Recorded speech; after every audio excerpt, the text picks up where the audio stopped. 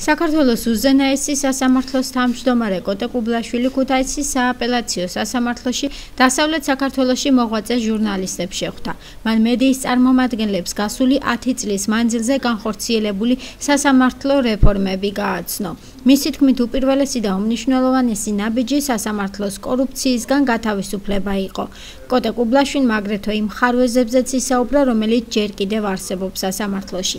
ამავე დღეს მან ქუთაისის სააპელაციო სასამართლოში ახლად გარემონტებული დარბაზი გახსნა, რომელიც გაუმჯობესებული აკუსტიკითა და ჟღერადობით გამოირჩევა, რაც სასამართლო პროცესების უკეთ წარმართვას შეუწყობს ხელს.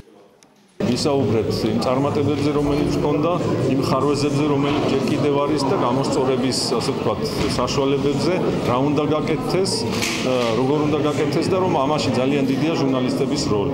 ისე რომ ძალიან მაყოფილი ვარ, რომ უშუალოდ ჩვენგან ჟურნალისტებმა მიიღეს სრულყოფილი ინფორმაცია. ქუთაისის სააპელაციო სასამართლოში დღეს სამაგალითო დარბაზი გაიხსნა იმ კუთხით, რომ ყველასათვის პირველ რიგში დამსწრე მოსახლეობისათვის, რომელიც დარბაზში შედის, უზრუნველყოფილია საუკეთესო სმენადობა. მათ როგორ მოშორებულ ადგილზეც არ უნდა დაждდნენ დარბაზში, მოსამართლისა და მხარეების ყოველი სიტყვა თავისუფლად ისმის. და მათთვის ეს არის ყველაზე მთავარი.